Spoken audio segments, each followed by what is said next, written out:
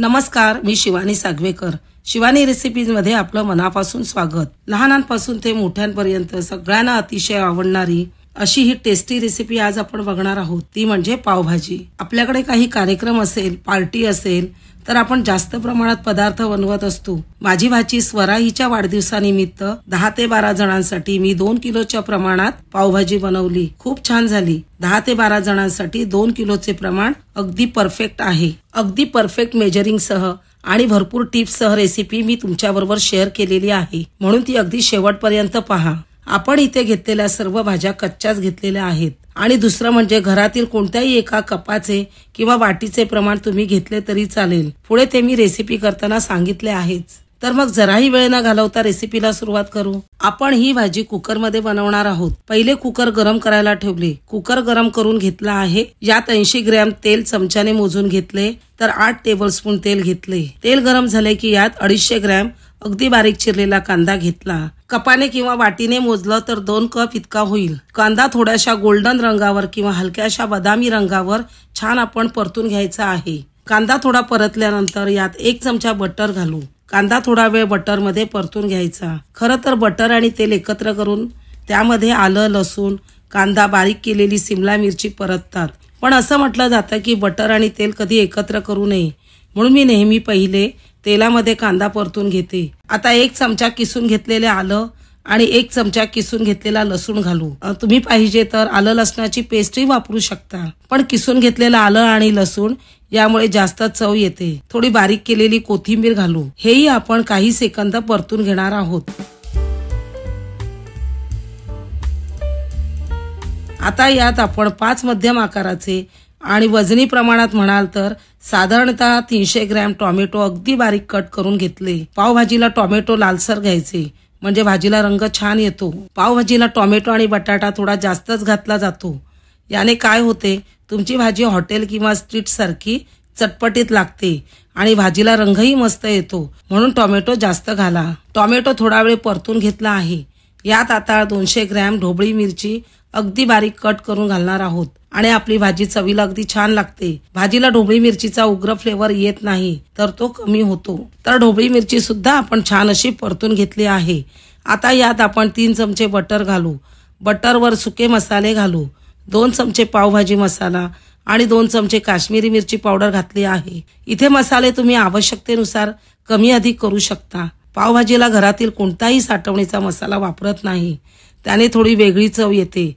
हे लक्षात ठेवायचे आहे. असे बटरवर मसाले परतून घेतल्याने भाजीची चव अजूनच वाढते. तेल सुटेपर्यंत मसाले छान परतून घेतले आहेत. मसाल्यांना छान तेल सुटेपर्यंत परतून घेतल्यानंतर यामध्ये कच्च्या भाज्या घालूया.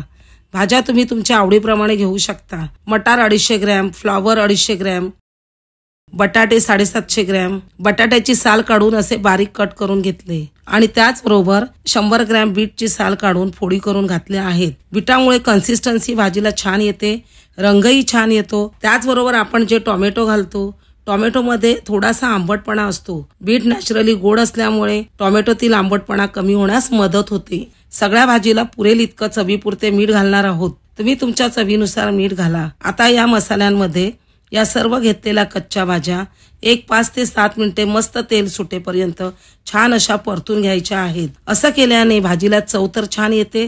त्याचबरोबर भाजीच्या आतपर्यंत मसाल्यांचा फ्लेवर उतरतो. म्हणून इथे छान असं परतून घेतलेलं आहे. आता यात आपल्याला पाणी घालायचं आहे. शक्यतो इथे गरम पाणी घालायचं आहे. बाजूला मी एका भांड्यामध्ये पाणी गरम ठेवलेलं होते. मी घेतलेल्या भाजीसाठी दोन ग्लास गरम पाणी पुरेसे आहे. पाण्यामध्ये भाजी बुडेल इतपत आपल्याला यामध्ये पाणी घालायचे आहे. आता मध्यम आचेवर भाजीला एक उकळी आणायची आहे.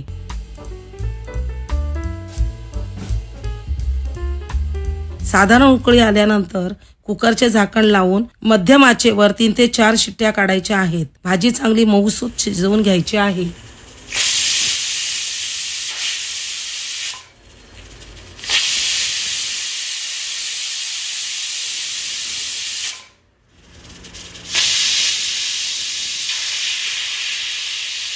इथे साधारण तीन शिट्ट्या झालेल्या आहेत. गॅस बंद करून थोडासा थंड झाल्यावरच याचे झाकण काढून बघू. भाज्या छान मऊसूत शिजलेल्या आहेत. आता गॅस चालू करू. मध्यम आचेवर गॅस ठेवू.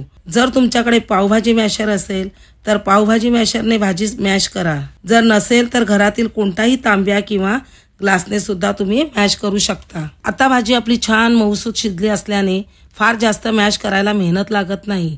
एक ते दोन मिनिटातच छान अशी भाजी मॅश झालेली आहे. मॅश करताना खूप जास्त अशी मॅश न करता थोड्याशा मोठ्या मोठ्या तुकड्यांमध्ये भाजी राहिली की खाताना खूप छान वाटते. तर अशी मॅशरने छान अशी भाजी मॅश करून घेतली आहे. भाजी जास्त घट्ट वाटत असेल तर थोडंसं गरम पाणी यामध्ये वाढवलं तरी चालेल. कारण आता जरी ही भाजी सैलसर दिसली तरी यामध्ये बटाटा आहे. त्यामुळे जसजसा वेळ जातो तसतशी ती दाटसर होते. आता याला एक चांगली उकळी काढून घेऊया. सगळ्यात शेवटी दोन क्यूब यामध्ये बटर घालू. हे ऑप्शनल आहे. तुम्हाला घालायचं असेल तर घाला.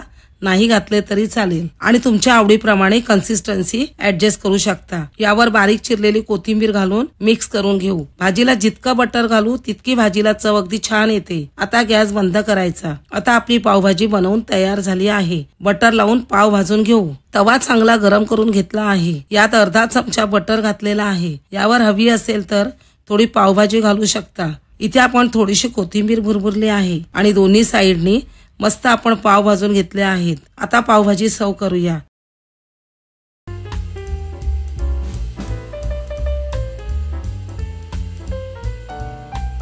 तर अशी ही दोन किलोच्या प्रमाणात पावभाजी बनवून तयार आहे. दहा ते बारा लोकांसाठी परफेक्ट प्रमाण आहे.